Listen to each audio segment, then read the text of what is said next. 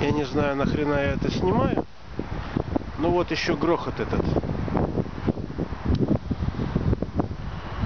Дробилка. Ну она не дробилка, она просто... А хрен его знает, что это такое. Не знаю, зачем это я снимаю, но вот он тут стоит такой. Тоже интересный агрегат. Сейчас полетел транспортерная лента. Там парень копается, он сказали два часа кури.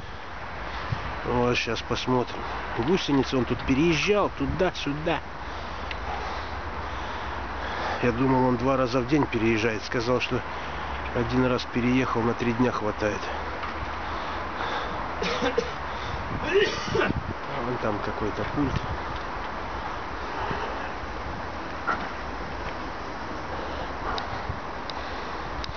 Вон мой стоит. Не знаю, наверх. Сегодня наверх не полезу. Хотя можно было бы, раз такое дело. Но мне кажется, этот агрегат часто тут ломается. Эти сказали, что в воскресенье тоже стояли.